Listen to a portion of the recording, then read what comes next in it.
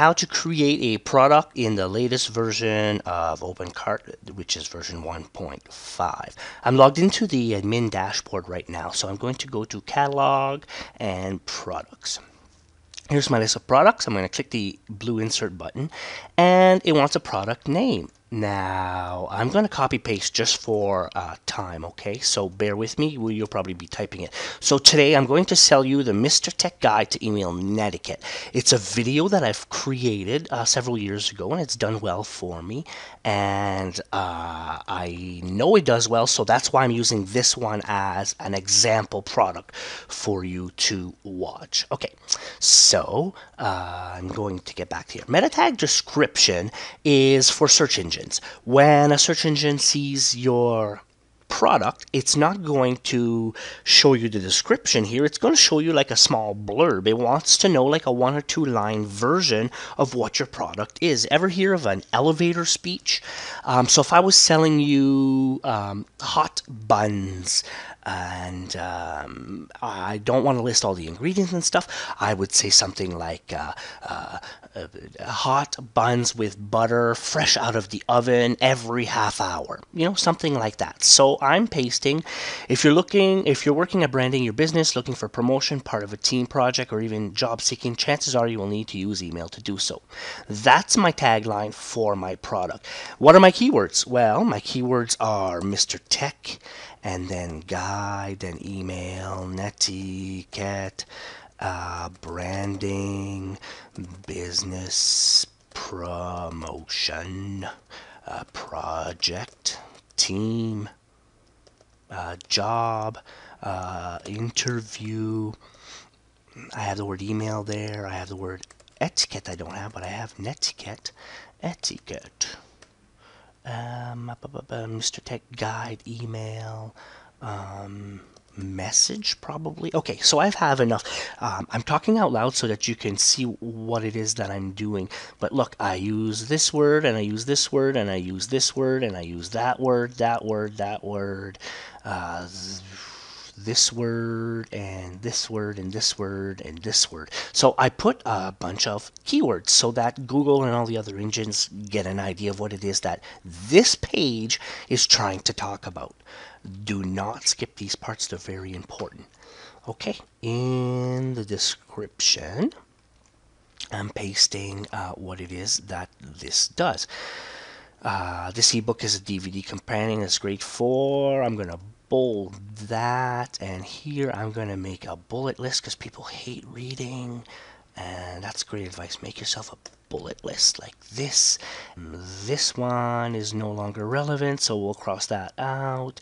This is good when you want people to know you're being honest and you're editing a post. So you cross it out to say like this is what it used to say but uh, updated today this no longer applies. So we don't want that there, there. So you could do like this, so people would know that this is what it used to say, this is what it now says. Now this is more useful for a news site, uh, not really for a product site. So I'm going to get rid of that. Um, I can add an image, I can add a table. So here's an example of a table, three rows, two columns. Okay. And there's my table, one, two, select that. Okay, so I don't want the table anymore. I will delete it. And what else can I do? I can insert a link. Uh, this is my link, blah, blah, mrtech.ca, and I go like this. And I click the link button. And it says what kind of link? It's a URL. What's the site? mrtech.ca. Target not set. We'll open it in the same page. Um, Pop-up window, a new window, same window. Um, so if you go self, it'll set to set. And if you want a new window, you go to blank. So basically, you could set it to not set. And uh, don't worry about any of this stuff. So I'll go OK. Now watch, because I had it highlighted, it actually shows me there's my link. Uh, so there's lots of stuff you can do. I'm not going to go through it all. If I click the source here, you can see all the codes so you can change the colors in the font and all that great stuff.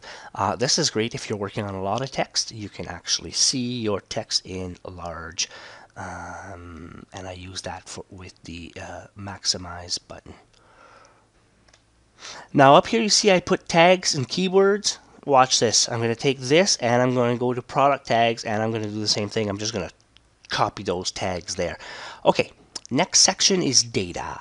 What is the model of your um, item? This is the only thing that you really, really need to have. So I made up a model because it's my own product.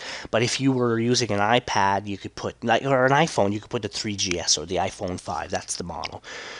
Okay, you see here there's a star, you need the model. These you do not need. The SKU, the UPC, the and the Japanese, the ISBN if you're selling books. And all this stuff is uh, added information. If you have it, put it down. It will help getting search engine results, um, but it's mostly for internal use a lot of times. Location, if you have, say, a store with five locations across town, you can actually put where this product is located. The price, I sell it for $32 and my tax class is none. Um, uh, we can say taxable goods or downloadable products. So we're going to go, it's a taxable good. How many do I have? Okay. If you're selling a real product, um, you can put the physical quantity in here. If you're selling a digital product like I am, you have unlimited quantity. So would you put 999? No, makes no sense. Just put one quantity. Now watch this the minimum order. So sometimes you might say have to order three at this price in order to get the the the, the sale price. So uh, subtract stock. So my quantity gets subtracted here, so I'm going to say no. Therefore, my quantity will always remain at one, and because it's a uh, it is a downloadable product, right? Um, I'm uh, saying no, don't subtract, so my quantity will always remain at one. If I was to say yes, subtract stock, and I had two in stock and one they were both sold out, it would go to out of stock. This is what I want the customers to see on the website. This is going to show on the product page. Uh, for example, you have some coming in and you know for sure they're coming in two, three days. Um, I just like to put out of stock. Does it require shipping? In my case, it does not. SEO keyword. This is uh, important if you have uh, short URLs turned on. So in my case, I do, and my keyword is email dash netiquette, like this. Okay. This is the main image. So I'm going to go browse. It shows me the image manager. This is my image here because it's already on my server. If it wasn't on your server already, you could go to upload and you could surf to your website and there's the picture. I'm not going to do it because it's already here. So I'm choosing my picture and there it appears as the main. Date available uh, puts today's date. Um, for example, you could say it's not available till August 1st. If you were using a DVD release and they were preventing you from selling it till August 1st, you could set it up way ahead of time, but it actually would not show up on your site until that date. Okay, dimensions. This is all for shipping, so I'm going to go really quick. Um, just think this is not the dimensions of your product, but this is the dimensions of your product inside of a box ready to ship. So five inches, five inches, five inches. Uh, easy. What do you use? Inches, millimeters, centimeters uh, for this up here. Weight. My product weighs uh, five pounds, let's say. And my status is it an enable product? You can leave the product on your set my uh, sort order to 10 it will show up uh, 10 but however if I have nothing named 9876542 then this will be the second product. So um, sort order is relevant in a way that you can control which products you want sorted first but just remember your customer has the ability to go inside your uh, cart and filter and um, search by the uh, heading that he wants just by clicking up here on your product page. Okay, so we're done with this page. We're going to go to links. Uh, I have a another video called assigning categories in OpenCart that uh, explains this way, way better. So I'm not going to even spend any time on this page at all. Look at my other video if you want to uh, learn how to do this. Categories is, uh, we're going to go, I'm going to say it's software just for the time being uh, stores. Uh, if you don't know this, uh, OpenCart can run multiple stores on just one installation, so you don't have to uh, install it over and over again. So this is where you would choose the store to assign it to. Um, this is the downloads. Um, I um, mm, would put a file here that I want the customer to download once they buy this product. In this case, I'm not letting them download it because I'm going to email it to them. I like to offer bonuses and personal assistance. So I'm not going to use this and related products also covered in my video I just mentioned.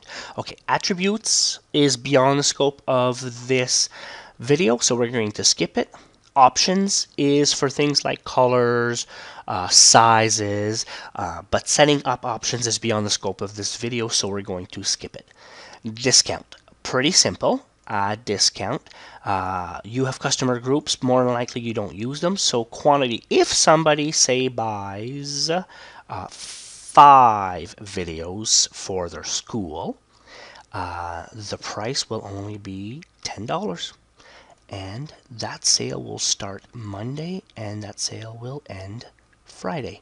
So from Monday to Friday, if you buy at least five Mr. Tech Guide to Email netiquettes, you will get them at $10. So it'll be $50. Okay. Special.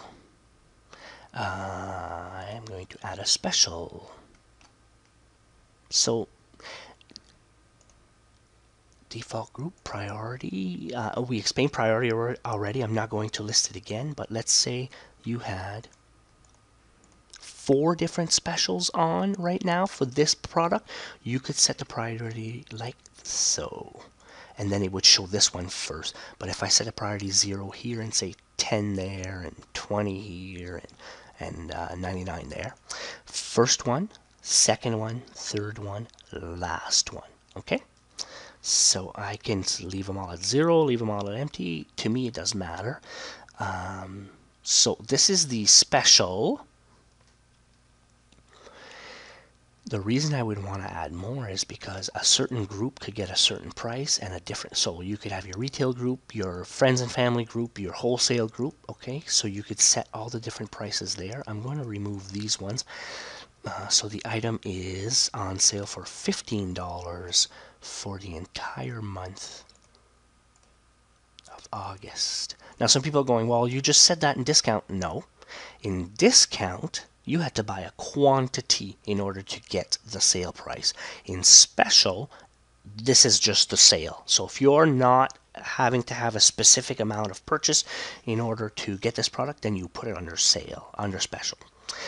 Okay, next tab is image. This is where you add the second, third, fourth, and fifth image for your product. So, um, so this is my product. So I'm going to say I'm going to add that, and I'm going to add my pretty little face dude here. So these would be the second and third images that appear in my product. Reward points. Your cart can operate on points. You can give someone uh, reward points. So for example, this customer group default, when they buy this product, they will get 100 reward points for buying this product. But let's say it costs 2,500 points in order to buy this product. I know you're getting excited right now because you didn't think this was possible. There was the whole time, and you didn't even realize that you had this built in like the big guys. So yes, you want customers to come back? Let them collect points. People love to collect points and then let them buy your products using certain points. So, of course, if you leave this empty, not every product in your store will be able to be uh, sold using points. Only the products that you want to sell using points will be available in here. And finally, the design.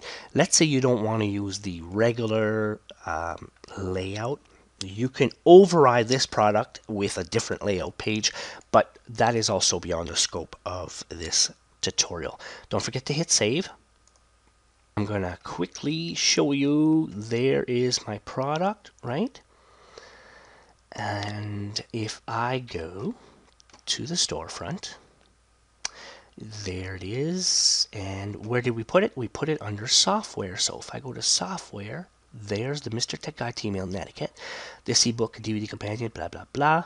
And you see it cuts off. The cart cuts that off on purpose. That can be controlled. There's my price. And if I click here or here, take me to the product. And as you can see, I'm in the product.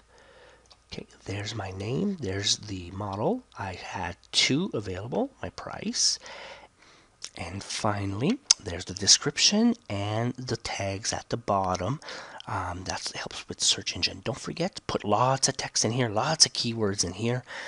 And that's basically how you create a product in OpenCart. One more trick before I let you go. If I check here, because I know this one is set up perfectly with all the keywords and everything that I need, I can go copy.